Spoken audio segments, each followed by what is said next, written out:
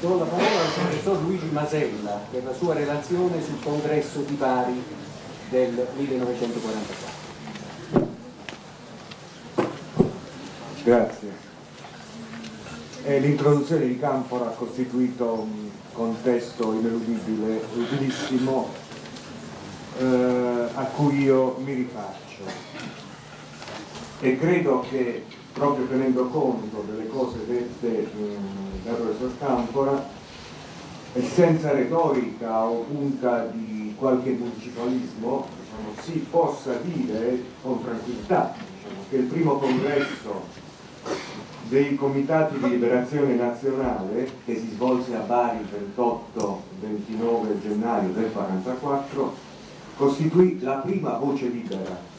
che in maniera ufficiale si levò nell'Italia occupata e anzi fu la prima manifestazione democratica che ebbe luogo in Europa e in un paese fino a poco tempo prima schiacciato dal fascismo. In quell'inverno tra il 1943 e il 1944 l'Italia come Stato nazionale di fatto non c'era più. E non solo perché tutto il paese, da Roma in su, era nelle mani dei tedeschi ancora, ma anche perché la parte liberata, cioè quella meridionale, di fatto non godeva di una sua reale effettiva indipendenza. E a decidere qui della vita civile e politica diciamo, erano ancora le truppe anglo-americane che stabilivano autonomamente il percorso che gli italiani avrebbero dovuto seguire per giungere ad un nuovo sistema politico. Se allora il punto di vista americano era più disponibile a soluzioni più avanzate, quello inglese, al quale era riconosciuto diciamo, tra americani e inglesi un diritto incisivo di controllo mh, più diretto nell'area mediterranea, quello inglese era favorevole più nettamente invece ad una permanenza della monarchia era un governo fortemente moderato affidato a Bologna. Gli storici di quel periodo diciamo, della nostra vita nazionale sono concordi nel rilevare diciamo, in questo quadro sia l'isolamento delle nascenti forze politiche diciamo, nel mezzogiorno, sia la loro difficoltà a contrastare i disegni conservatori di Badoglio e di una classe dirigente legata ancora a Vittorio Emanuele III e decisa comunque ad ostacolare uno sviluppo in senso pienamente democratico del sistema politico italiano. Ecco, proprio alla luce di questo contesto si può formulare una prima valutazione del congresso di Bari, progettato in un primo momento come mm, un primo momento di confronto tra tutti i comitati di liberazione per definire una linea comune in ordine alla questione istituzionale, al ruolo e al destino del re e al ruolo che la parte libera dell'Italia, un'Italia ormai riconosciuta belligerante eh, dopo l'8 settembre, avrebbe dovuto avere diciamo, svolgere nel corso della guerra, il congresso avrebbe dovuto essere celebrato a Napoli e contro ogni ipotesi di eh, convegno di forze politiche nuove, fortemente critiche dell'operato di Badoglio, si levò però l'opposizione alleata, inglese in particolare, e insieme con questa opposizione la forte resistenza del governo badogliano, che vedeva nell'iniziativa un pericolo per l'ipotesi di gestione moderata del dopoguerra. E l'obiettivo di ostacolare questa iniziativa fu inizialmente raggiunta, perché il 5 dicembre del 1943, la sera del 5 dicembre del 1943, un ufficiale americano bussò alla porta di Arangio Ruiz, liberale Arangio Ruiz, presidente del CLN napoletano, per annunciargli che la celebrazione del congresso veniva proibita per ragioni di ordine pubblico, perché Napoli era troppo vicina alle linee del fronte. E al di là quindi di ogni valutazione di merito del congresso, su cui qualche cosa cercherò di dire dopo, è proprio lo stesso svolgimento successivo di quella vicenda, un esempio molto significativo, diciamo generale, non solo italiano, del modo in cui una classe dirigente, sia pure in una fase iniziale di formazione, ricerca e rivendica in una situazione di totale occupazione militare un proprio spazio di autonomia decisionale. E si legittima per questo. Fu Croce stesso chiamato d'urgenza a Napoli, nella sede del CLN, a sollecitare la firma di una lettera di protesta eh, indirizzata a nome di tutti i partiti, diciamo, direttamente a Churchill, Stalin e Roosevelt, per richiamarli ai deliberati della conferenza di Mosca del 43, ottobre del 43, nella quale era stato riconosciuto il diritto di parola e di riunione alle rappresentanze politiche italiane. E la cosa non funzionò perché diciamo, nel successivo incontro con le rappresentanze militari alleate si ottenne che il congresso si svolgesse, non a Napoli, dove appunto eh, il fronte era vicino, ma a Bari. Già lo svolgimento di questa vicenda sottolinea un primo punto importante, su cui è importante riflettere anche oggi.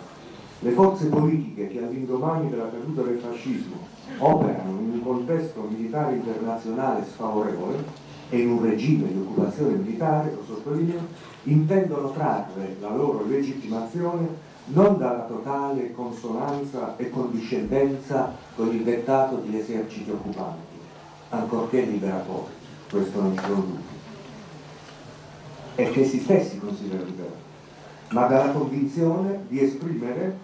nella loro unità di intenti una ritrovata unità nazionale. Si tratta, e lo ha scritto uno storico delle relazioni internazionali come Dinolfo, di un aspetto che non va sottovalutato e che caratterizza in modo profondamente diverso l'affacciarsi dei partiti antifascisti alla direzione del sistema politico italiano. Cioè,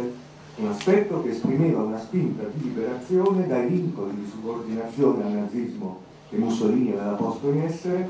ma conglobava in questo medesimo atteggiamento una sorta di ritrovato spirito di unità nazionale che proclamava l'esigenza di auto-identificarsi al di fuori delle imposizioni esterne, così come del resto la propaganda alleata aveva promesso che gli italiani sarebbero stati liberi questa stessa capacità di recuperare spazi di autonomia in un confronto di opinioni,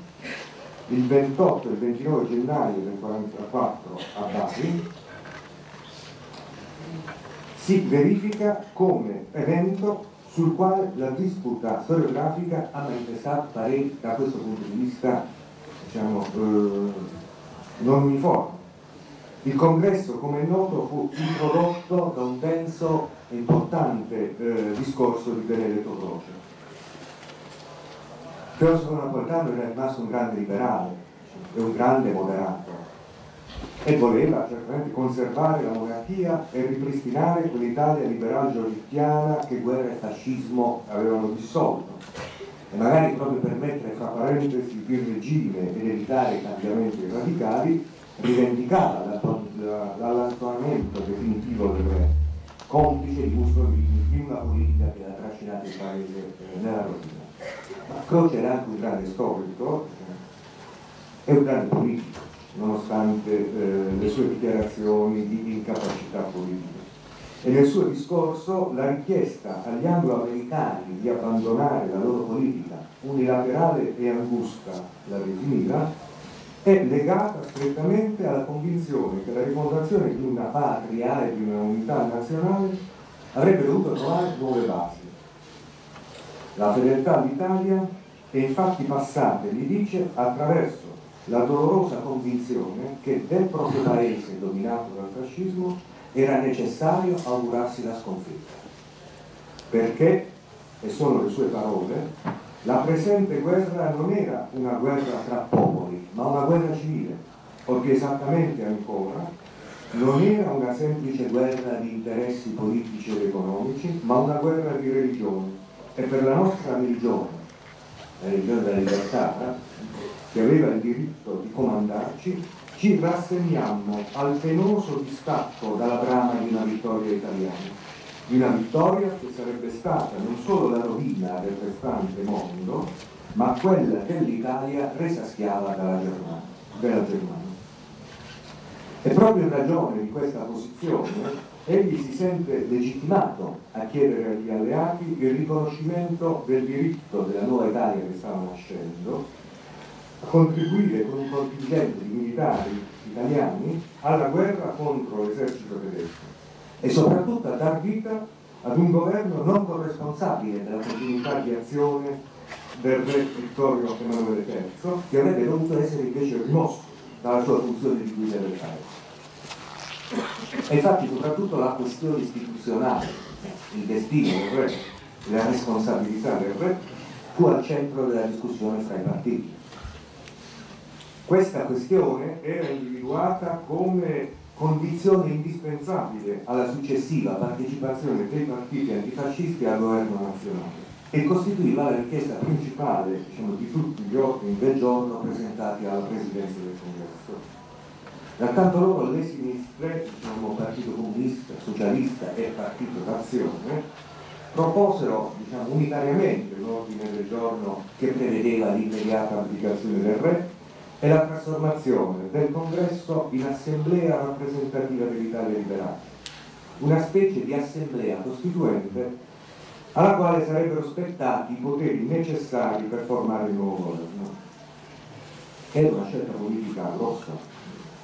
che pur potendo far registrare la maggioranza dei consensi fra quanti partecipavano al congresso, rischiava tuttavia di dividere l'assemblea e soprattutto richiedeva un livello di consenso, di mobilitazione diciamo, delle masse della popolazione in senso antifascista e rivoluzionario che nel mezzogiorno era ancora tutta da verificare. Per giunta tutto questo sarebbe avvenuto in un contesto politico-militare più complicato, diciamo. in fondo stava diventato più ostile al riconoscimento di un ruolo centrale dei partiti politici nella transizione italiana in una fase post-fascista. Infatti eh, nel dicembre 1943,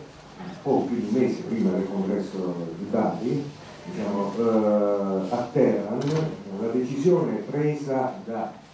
Stalin e Roosevelt di aprire un secondo fronte finalmente, un secondo fronte di guerra in Europa occidentale dopo la primavera del 1944 rendeva meno importante temporaneamente il fronte sud, quello mediterraneo. E di conseguenza Eisenhower, che era nominato comandante dell'esercito alleato, destinato a quello che sarebbe diventato quello sbarco in Normandia, avrebbe dovuto lasciare il comando del Mediterraneo all'inglese Nathan Wilson e gli inglesi erano meno favorevoli ai partiti diciamo, del Comitato di Liberazione Nazionale e appoggiato, come detto prima, con maggiore impegno Badoglio e la monarchia. Ora, se in prospettiva il disegno di un'egemonia inglese nel Mediterraneo e in Italia avrebbe dovuto fare i conti con l'emergenza di nuova potenza americana, nell'immediato il mutamento della situazione militare costituiva un ulteriore pesante impedimento all'effettivo dispiegarsi della proposta dei partiti di sinistra diciamo, al congresso di Bari. E quindi pur collocando, a mio parere, la posizione di Croce in un contesto di moderato liberalismo costituzionale e di persistente fiducia diciamo, nell'istituto monarchico, è tuttavia difficile non riconoscere il fondamento delle sue reazioni durissime e irritate all'ordine del giorno presentato dai tre partiti che tra l'altro hanno già registrato l'opposizione cattolica. Eh, la sua posizione molto critica, quella di Croce, diciamo, non risultava dunque per infondata. Il compromesso raggiunto più tardi con la mozione finale, come è noto, denunciava comunque la figura del re, responsabile delle sciagure del paese e affidava non all'assemblea congressuale, trasformata quasi in un'assemblea costituente, ma una giunta esecutiva permanente il compito di predisporre le condizioni necessarie alla composizione di un nuovo governo legittimato dalla presenza di tutti i partiti. La giunta, come noto, non produsse risultati significativi e la stessa mozione di compromesso diciamo, non suscitò grandi entusiasmi in croce che nello stesso pomeriggio, diciamo, quando prese in mano quelli che sarebbero stati proprio i tazzini di guerra, scrisse qualcosa che riguardava una sua visita a casa La Terza piuttosto che qualche commento relativo all'esito del congresso. Un'accusa di astrattezza e di estremismo radicale da parte moderata, che sia pure con motivazioni diverse, che il tentativo di tenere in piedi una monarchia traballante, Tuttavia sembra anticipare diciamo, analoghe valutazioni che emergeranno in seguito, soprattutto da parte del ministro sul ritorno di Togliatti e con la cosiddetta svolta di Salerno. la pregiudiziale istituzionale diciamo, che legava l'ingresso nel governo dei partiti del Comitato di Liberazione Nazionale alle dimissioni di Badori e alla verificazione del re si faceva rilevare da una parte, che la parte comunista, diciamo dopo, diciamo, dopo Salerno, ehm, rischiava di far passare in secondo piano soprattutto la lotta generale e nazionale contro i tedeschi. E questi avevano già lasciato diciamo, una scia di sangue in Puglia, ritirandosi diciamo, da sud verso nord. In Puglia, dove la Wehrmacht, insieme all'SS, tra settembre e novembre del 1943, poco prima dunque del congresso di Bari, aveva fatto fuori già, diciamo, fucilato oltre 200 abitanti di comunità pugliesi e lucani. Un numero ancora di più, più consistente mh, mm, mh, mm, sarà trucidato eh, nelle aree della campagna. E allora, mentre si stava svolgendo il congresso di Bari, i, i tedeschi da Roma in su si stava predisponendo ad un'occupazione feroce del territorio ancora da loro occupato e una strategia di repressione e di rappresaglia ancora più radicale. Questa polemica divenne più tardi polemica storiografica e il giudizio sulla mancata soluzione a Bari della questione monarchica si intrecciò con le perplessità suscitate dalla decisione comunista e delle sinistre di entrare nel governo per comporre in funzione tedesca l'unità nazionale. Una decisione, quella del PC, sulla quale le scelte diplomatiche dell'Unione Sovietica avrebbero influito in maniera molto pesante, non è oggetto di discussioni, di scontri abbastanza strumentali molto spesso in quest'ultimo periodo. E non è questa la sede per riproporre la discussione su un tema sul quale nuovi documenti, da quelli su PC e sull'Italia conservati negli archivi di Mosca, al diario di Dimitrov, hanno gettato nuova luce sul modo in cui venne lavorata una politica estera dell'URSS tra il 1943 e il 1944 e sul ruolo non passivo di Togliatti, che era allora dirigente del Comite, oltre che segretario del SVC e quindi come dire, co-protagonista quelle scelte, diciamo, il contributo non passivo alla definizione della politica in una logica che pur entro gli introli diciamo, del sistema staliniano intrecciava questioni internazionali e problemi italiani. D'altra parte i limiti, per così dire, illuministici, così furono definiti del congresso di Bari, presto, questi limiti furono ben presto consapevoli anche autorevoli protagonisti di quella vicenda e Tommaso Fiore vent'anni dopo, diciamo, Fiore è uno dei relatori del congresso di Bari, nella prefazione alla ristampa degli atti, diciamo, nel 64, riconobbe che non più di quel che fecero quei partiti avrebbero potuto fare allora a Bari, in quel contesto. I partiti, scriveva, appena rinascenti quando la loro forza era bambina. Noi, continuava Fiore, preparavamo il terreno per una società diversa ma questa sarebbe diventata diversa solo se avessero preso coscienza le forze popolari di sé e del proprio diritto. Il congresso era cioè il primo passo di un cammino più lungo e difficile che avrebbe dovuto comprendere tutta la guerra patriottica e civile nel resto dell'Italia. È una guerra dura e vera, quella della campagna d'Italia, conclusa con la presa di Kesselring un fronte di guerra probabilmente secondario rispetto a quello aperto in Normandia, ma non per questo meno insanguinato dagli scontri armati, come talvolta sembra far intendere, e Canfora lo ha mm, detto chiaramente, certa produzione storiografica. Il congresso fu comunque il primo passo, dice, diciamo, e se ricordiamo quella vicenda da discussioni sostanzialmente superate, da polemiche suscitate spesso anche da forme non del tutto corrette, di quelle che ormai chiamiamo uso pubblico della storia, ne verifichiamo invece l'eco non solo all'interno dell'Italia, divisa in due, ma in ambito internazionale, la sua rilevanza, la rilevanza di questo evento, risulta cresciuta. Negli Stati Uniti il congresso di Bari venne considerato dal Times la prima importante testimonianza di un processo di ricostituzione del sistema democratico e alimentò le spinte all'interno dell'establishment rooseveltiano ad agevolare il processo di rinnovamento della società italiana, contestando la piega sostanzialmente reazionaria che l'amministrazione Baldiani stava prendendo nel mezzogiorno. E Cominor probabilmente ebbe in Inghilterra, diciamo nei giorni immediatamente successivi successivi al congresso, ma anche in questo caso i commenti di Mario Londra contribuirono ad offrire diciamo, all'opposizione laburista nuovi motivi di di pressione della maggioranza Tory più diffidente verso i partiti democratici e certamente, come detto, più favorevole a una soluzione diplomatica.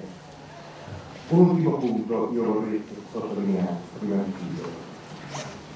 Ecco, non si può sottovalutare il fatto che il congresso di Bari costituì eh, la prima manifestazione pubblica dei nuovi partiti politici l'occasione in cui mettere a confronto davanti all'opinione pubblica, sia pure limitata, le culture politiche che avrebbero poi costruito l'Italia repubblicana. È certamente vera la fotografia di una popolazione sconfitta, popolazione meridionale, sconfitte, affamate, che circondano eh, e applaudono i carri armati alleati che entrano nelle città, discorsi che chiedono sigarette e cioccolata, al robusto marito nato in americano. Ma a quella fotografia ha affiancato un'altra probabilmente meno conosciuta in quei primi mesi di dopoguerra nel mezzogiorno ma non meno significativa. Ed è l'immagine di vecchi antifascisti a cui ha fatto riferimento Camera e di nuovi e più giovani dirigenti che si riuniscono ma soprattutto testimoniano la maturazione della consapevolezza di che cosa? Che partecipazione e politica non devono avere più i significati dispregiativi che avevano avuto fino allora. Non erano brutte parole e che il coinvolgimento di altri settori di società civile ancora disaggregata era possibile solo attraverso l'azione dei partiti politici che bisognava mettere o rimettere in piedi e far crescere. E questo è credo l'altro dato che va sottolineato il congresso di Bari è in fondo il primo momento di confronto pubblico tra diverse culture politiche che stanno emergendo dopo la caduta del fascismo. Molti dei protagonisti di quell'avvenimento, certo negli anni successivi, scompariranno rapidamente o comunque non compariranno più in prima fila nella vita politica nazionale. La stessa configurazione dei partiti risulterà in seguito ridefinita dai nuovi contesti internazionali e dalla necessità di adeguare linee e programmi ai risultati di nuove e approfondite analisi del quadro politico del Paese. Da un lato il vento del nord, il ruolo preminente svolto dalla resistenza armata al di là della linea Golfo,